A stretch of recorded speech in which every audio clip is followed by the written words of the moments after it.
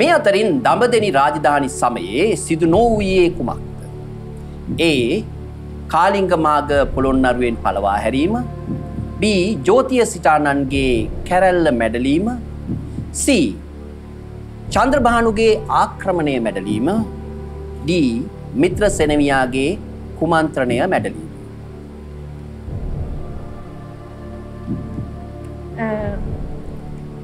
කාලිංග මාග පොළොන්නරුවෙන් පලවා හැරීම. හරි. එක වුණේ දමදනි රාජධානි සමය තමයි.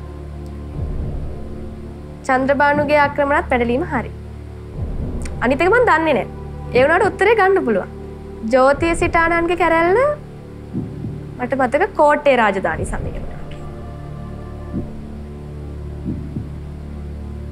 ආන්ස B ෆයිනල්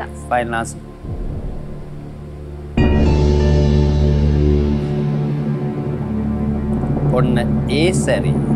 හැත්තදහ හැත්තද හරිනේ. හැතදාහරි හරිද? කාලිංගමාග පුළුන්නරුවෙන් පලවා හැරීම. හරි. යා බලබල හරින්නේ දබතිනිය තමයි.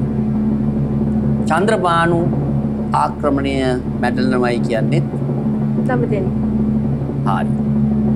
දැන් අපිට උත්තර දෙකක් තියෙන මිත්‍ර සැනමයා කියන්නේ කවුද අන්න වැඩි යෝතිය සිතානන්ගේ කැරැල්ල කියන්නේ මොකක්ද පුතේ ජෝතිය සිටානන්ගේ කැරැල්ල තිබ්බේ කෝටේ රාජධානි සම හයවෙනි පරාක්‍රම බහු රජතුමා තමයි මේ කැරැල්ල මැඩ පැවැත්තුවා කියලා මං අහලා තියෙනවා.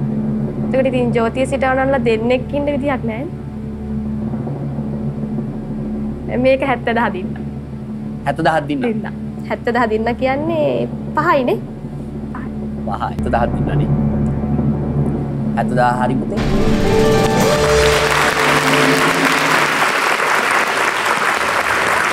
හරි. ඔයා කිව්ව හරිනේ. ජෝතිසිතානන් හයවෙනි පරාක්‍රම බහු රජ්ජුරුවන්ගේ කාලේ දැන්